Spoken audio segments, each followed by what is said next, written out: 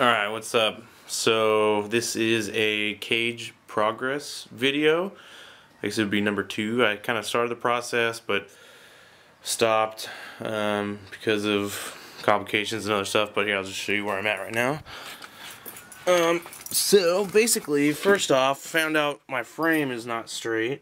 So, that's cool. I kind of already knew that, but it's pretty much messed up on that side and the other side better on the other side than this one, but anyways, so here's what I've started. I've started doing my cage and then got sidetracked with another thing, which is that, oh, I can't really see, that E28 out there, and it's a whole nother story, but, um, so basically it's been sitting like this for a while.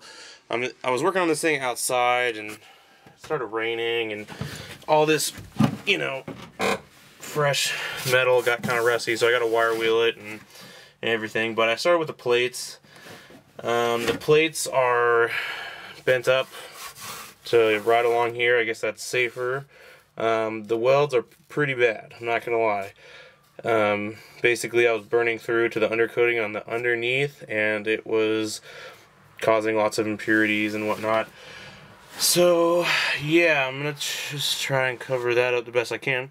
Um, it could be worse. Could could be a lot better though. So there's that. Um, and I got the other one over here. Oh, I'll show you So, basically, I don't know if you remember, but there was a huge hole in my floor. So I had to do a bunch of like floor repair.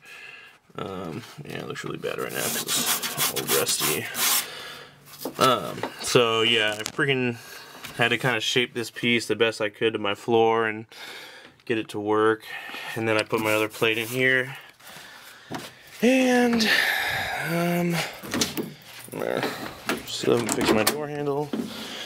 Um, ow. And then I got my other plates getting ready to put up here. And I already cut and measured, um, my everything pretty much. I've already bent my main hoop.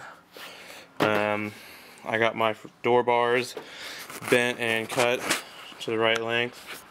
Well, I made them actually long so I can kind of cut them in place. And then I got my down bars, which are going right here.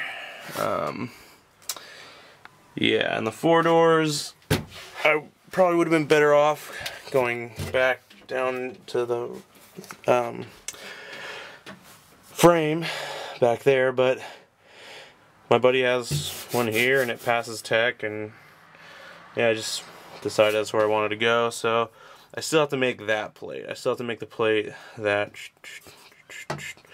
fits right there. But basically I stopped working on it because I hired a private investigator and he found my first car, which is that E28 out there.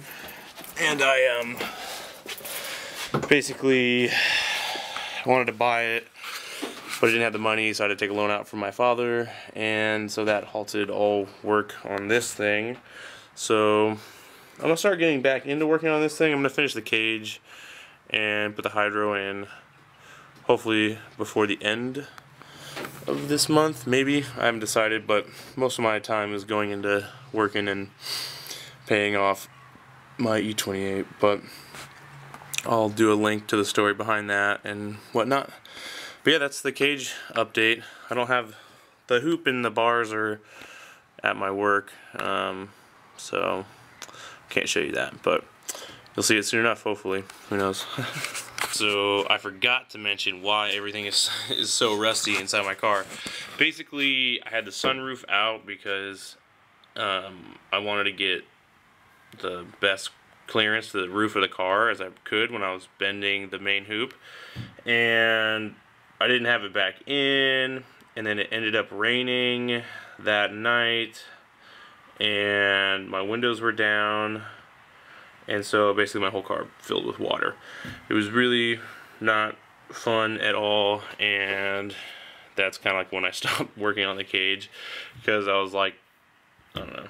Also, my car broke down on the way home while it was filled with water, which is in another video. So, yeah, anyways. It's been sitting in my garage for about a month or two. Maybe not two months, but That's why it's everything's so rusty because it filled up with water because I didn't properly cover it. Dang it. But yeah.